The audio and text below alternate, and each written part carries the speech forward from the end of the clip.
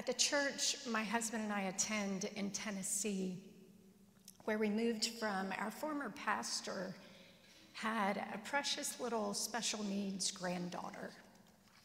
And in his journey of being a grandfather to a special needs child and a father to a son who had a special needs child, as well as being a pastor, he discovered that one of the most unchurched groups are parents with special needs children because they just don't feel like they have a safe place to leave their child for those couple of hours.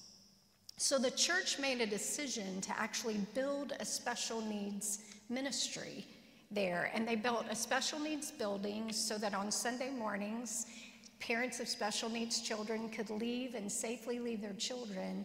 But it also is a place where families can drop off their special needs children all during the week. So not only did it become a ministry to the church, it also became a ministry to the city.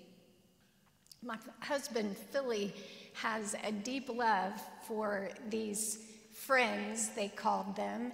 And so he served for many years inside of this ministry, and he would come home scratched and bitten and hugged and kissed. And he would have all these beautiful stories of life and humor. And then he would talk about the gratitude of the parents. Because a pastor who had a special needs granddaughter tore off the roof to get families to Jesus. That's how most ministries began because our heart has been so impacted by what Jesus has done for us and how he's healed us and set us free that we want others to encounter that for their own lives. I think of the ministry that Pastor Michelle brought to our church last year called Grief Share.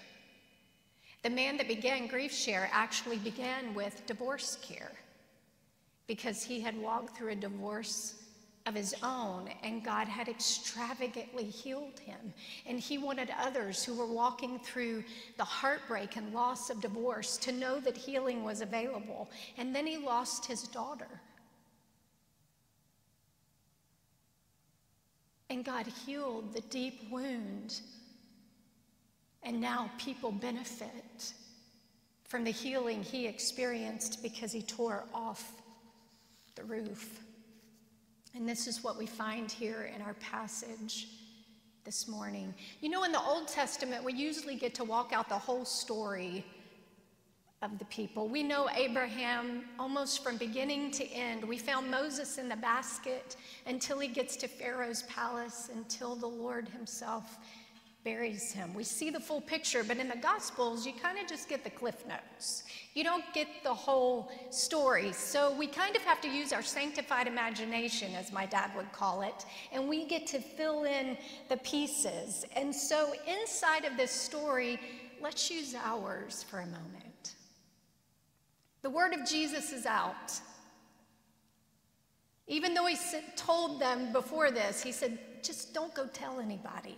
But they can't help themselves. I mean, who could? If you're seeing healings, if you're seeing demonic people, people who are demon possessed set free and transformed, if you're seeing him calm storms, eventually the word about Jesus is going to get out.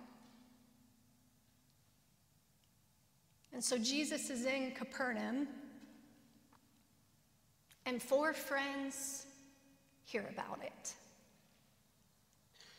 And they have this friend who they've just had enough of his pain and his struggle and possibly his disappointment and his hopelessness. And they believe that the answer is in the house in Capernaum. So they make a plan. I have no idea how they made this plan. It could have been rushed, it could have been frantic, you know, hey, we've got to go and we've got to go now. It could have been all that, or it could have been calm. And eventually, one looked at the three others and he said, You grab that corner.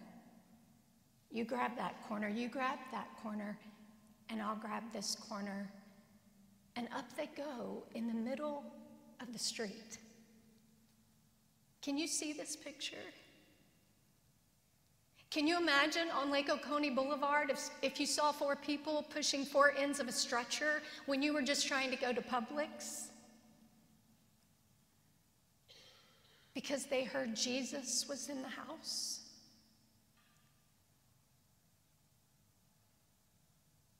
They didn't hear that really good worship was in the house. They didn't even hear that really good teachers were in the house. They didn't even really hear that really good programs were in the house. What they heard was Jesus is in the house. Don't we want to be where Jesus is? Don't we want to be in the house where we feel and sense and know the presence of God is there? So they weren't going to let their friends miss this moment. And I've learned that when the real, genuine, life giving presence of Jesus is in a place, people want